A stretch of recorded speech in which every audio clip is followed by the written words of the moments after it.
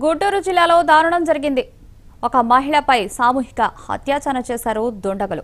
ఇక దంపతులు బైక్ మీద వెళ్తుంటే భర్తని కొట్టి ఆ మహిళని పొలాల్లోకి లాకేరీని మళ్ళీ సామూహిక అత్యాచారానికి పాల్పడ్డారు. అయితే దీనిపై పూర్తి అప్డేట్స్ మా ప్రతినిధి వీరస్వామి అందిస్తారు. వీరస్వామి రూపా గుంటూరు జిల్లా మేడికొండూరు పోలీస్ స్టేషన్ పరిధిలో మాత్రం దారుణం చోటు చేసుకుంది.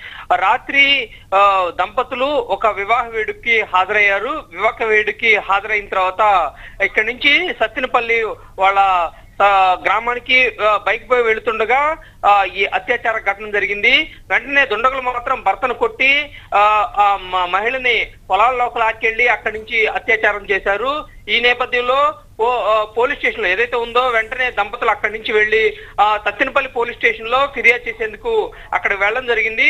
తమ పరిధి కాదు మీరు తప్పనిసరిగా ఆ, మేడికొండూరు పోలీస్ స్టేషన్ పరిధిలో ఈ ఘటన జరిగింది కాబట్టి మీరు అక్కడికి వెళ్ళేసి పోలీస్ స్టేషన్ పరిధిలో ఆ, ఫిర్యాదు చేయాలి అని చెప్పేసి చెప్పడం జరిగింది. ఆ ఫిర్యాదు మాత్రం అక్కడ స్వీకరించలేదు. అదే విధంగా చూసుకున్నట్టు మాత్రం పోలీస్ యంత్రాంగం మాత్రం ఏదైతే ఉందో ఘటన ఎక్కడ జరిగినా జీరో ఎఫ్ఐఆర్ నమోదు చేస్తారు. కానీ సత్యనపల్లి పోలీస్ స్టేషన్లో మాత్రం జీరో ఎఫ్ఐఆర్ నమోదు చేయలేదని బాధితులు మాత్రం ఆవేదన వ్యక్తం చేశారు. ఇదే విధంగా చూసుకున్నట్లయితే మాత్రం పాలడుగు అడ్డొడ్డు వద్ద ఈ ఘటన చో- చోటు చేసుకుంది. కొద్దిసేపటి క్రితమే బాధితులు మేడికొండూరు పోలీస్ స్టేషన్కు వెళ్ళాలని పోలీసులు సూచించగా కొద్దిసేపటి క్రితమే మేడుకుండూరు పోలీస్ స్టేషన్లో దంపతులు రావడం జరిగింది. డిఎస్పీ స్థాయి అధికారి కూడా అక్కడికి వచ్చేసి ఫిర్యాదు స్వీకరించి దీని మీద కేసు నమోదు చేసి దర్యాప్తు కూడా కొనసాగుతుంది అని చెప్పుకోవాలి. ప్రధానంగా చూసుకున్నట్టు మాత్రం తాజా పరిణామాలు తాజా పరిస్థితులు చూసుకున్నట్టు మాత్రం ఒకవైపు నుంచి ఈ రోజు నారా లోకేష్ బాబు పర్యటనకు అనుమతి లేదనేది ఉత్కంఠ నెలకొంది. ఈ నేపథ్యంలో మరోసారి ఈ అత్యాచార ఘటన వెలుగులోకి వచ్చేసరికి దాదాపు పోలీసు యంత్రాంగం మాత్రం అప్రమత్తమైందని చెప్పుకోవాలి.